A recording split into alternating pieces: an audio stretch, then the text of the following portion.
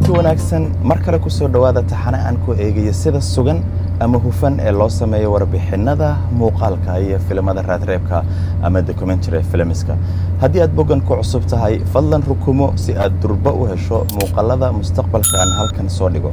Sidoo kale fadlan baaq ama fariin mid uun ii reeb si aan isugu dayo in aan macneeyo meelaha uu mugdi galo ama aan mustaqbalka u soo bandhigo mowduucyo baahi loo qabo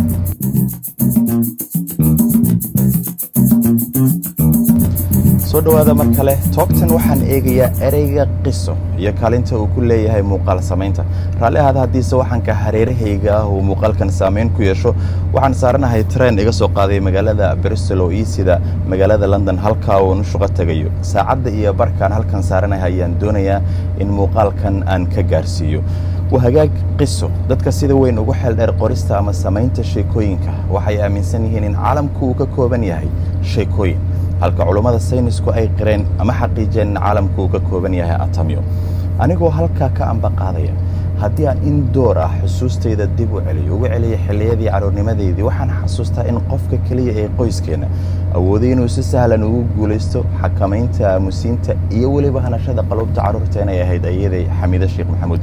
Khayr ilaahay ha siiye marnaba ma ahayn qof qabiid ah ama ku ad adag carruurta oo waxyeelaysa xitaa ma lahayn cod dhiifoon oo laga baqo. Keliya waxa ay awood u lahayd oo ay ilaa xad khabiir ku ahayd sida carruurta loogu sheekayo iyadoo taa ka faa'iidaysanaysa ayay had iyo jeer marka xaafadda sawaxanku iyo buuqiis qabsado waxay si sahlan ugu dhawaaqi jirtay sheeko sheeko dabadeedna qof walba halkuu joogo ayuu salka meel la heli jiray si aanu erey sheekada soo socota ku jira aanu u dhaafin.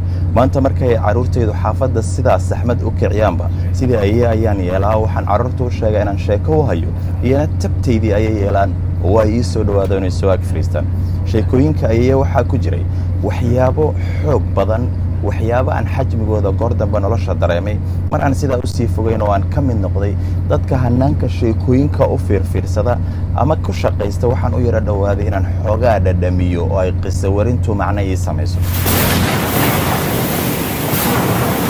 Sheekooyinka waa farshaxan awood sare leh oo aadmiga lagu xasuusiyo xilka uu hayo iyo xisaabta nolosha.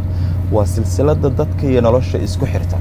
Qur'aanka kariimka ah marka laga reebo amarada iyo kala hagista nolosha adduunka iyo tanaakhiro inta kale waxa uu u badan yahay qisooyin ilaa xad qur'aanka ay ku jirto suurad lagu magacaabo qisas ama qisooyin sida aan wada ognahay.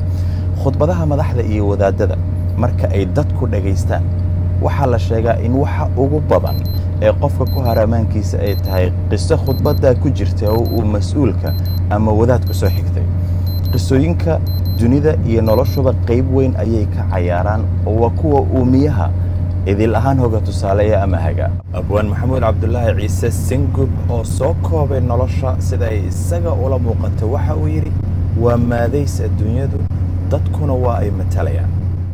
Waa ereyo xooggan oo uu ruwaayad ugu magac daray isaga oo ku xaqiijinaya awoodaha ay maadda iyo sheekooyinku leeyihiin iyo weliba kaalinta ay dadku ku leeyihiin.